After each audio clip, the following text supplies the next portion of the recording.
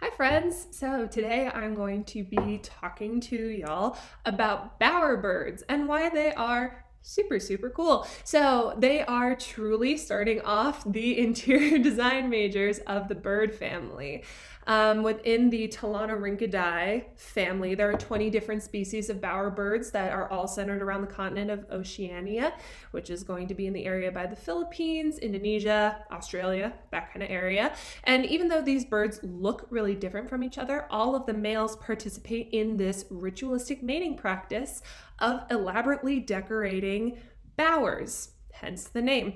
These are kind of like fancy bachelor pads for birds because they don't explicitly live in these little nesting areas. They're really just for show.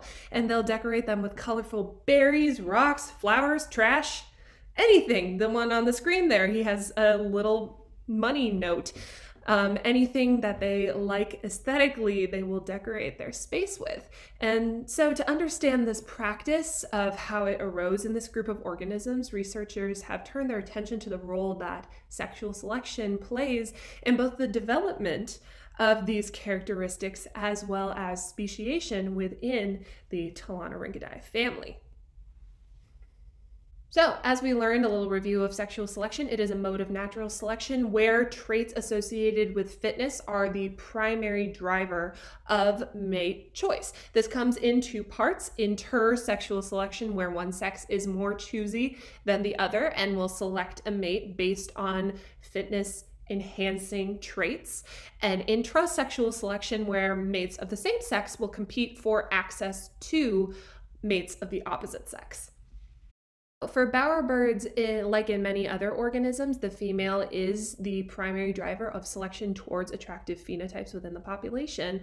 This is due to the fact that females, like in many other organisms, have the highest biological investment in reproduction. So they become the ones that drive these appealing characteristics. These attractive traits are often going to be secondary sex characteristics like songs, physical adornments, and bright colors, or even performances, like in the case of bowerbirds and they usually correspond with the physical health of the potential mate and therefore his ability to produce equally strong offspring. And while bowerbirds perform this unique courtship display, it seems to indicate something beyond just physical health. Different species of bowerbirds show specific preferences for colors and decoration patterns, but why does that matter? Researchers believe that female selection of mates who can produce the most appealing and intricate bowers indicates that male general intelligence is actually the primary trait by which females select their mates. Researchers at the University of Maryland observed that different species of bowerbirds have large amounts of variation in the display preferences of females, despite them being relatively geographically concentrated. This seems to suggest that the triple S hypothesis would be applicable to this family of birds. The triple S hypothesis, or the speciation by sexual selection hypothesis, suggests that the uh, preferences of females may cause prezygotic isolation strong enough to lead to reproductive isolation without extreme changes in morphology or genome. To test to see if this was the case in bowerbirds, the team studied two geographically separated populations of Vogelkop bowerbirds, I know, very German, in Indonesia, the Fak-Fak and the Arfak bowerbirds named for the mountain ranges to which their populations are most closely located on the island. Uh, researchers gave the Fak-Fak and the Arfak males the same set of materials varying in color and shape to decorate the bowers with. So despite them being the exact same species, morphologically similar as you can see in the pictures and genomically almost identical, the groups selected different colors and shapes to add to their nests. The Arfak group would pick um, dark blue and dark red colors to put in their bowers, whereas the Fak-Fak birds almost avoided those entirely. And when females from the Arfak population were exposed to both groups of males, the females would refuse to copulate with the Fak-Fak males whose bowers did not contain those key colors as indicators, seemingly, of the Arfak group. Um, The researchers then surmised that if the females avoid reproducing with males of different populations, this could eventually lead to behavioral reproductive isolation and therefore a speciation event to occur between these two populations, despite them, you know, being very, very genetically similar. This fits in perfectly with the triple S hypothesis and serves as an explanation for why there are so many species of bowerbirds in such a tight geographic location that still practice this same ritualistic behavior while also having an extreme amount of variation within it. With so much diversity as we observed in display traits, the question arises of what makes these characteristics so special to females. A male's ability to learn the preferences of females shows their ability to make judgments and perform other cognitive tasks, right? So, this compelled a new team of researchers at the University of Maryland to look into the reproductive success of male satin bowerbirds that performed well on problem solving tasks.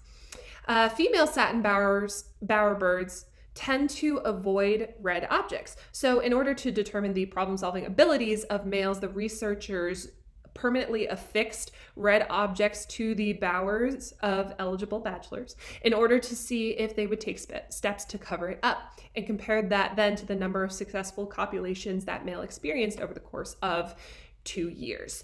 Um, as you can see on the slide, there's kind of a scale to um, show the degree of effort the males were willing to put into devising a way to cover up these distasteful red objects.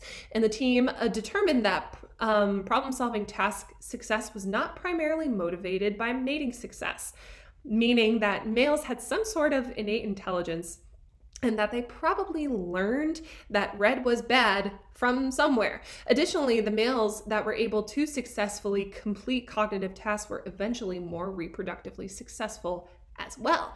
It seems to indicate that females are attracted to the most visually appealing bower not because they're attracted to pretty things, but because they're drawn to males that show this innate intelligence and that have the genes to produce equally intelligent offspring. So, this study showed that while no male is going to be explicitly taught what is preferable to females in its population, the selection of females within that species will drive male learning of what is attractive to potential mates. And the origins of this behavior is likely partially influenced by geographic location and social learning, similarly to the development of other birds' mating calls or songs. Not only are bowerbirds cool, they are smart, and they can seemingly make strategic, sexually selective decisions like many other high cognitive functioning organisms. And, you know, this shows us that even though we thought for a while they just did it for funsies and to look cute and pretty, they actually are much more intelligent than we had originally thought.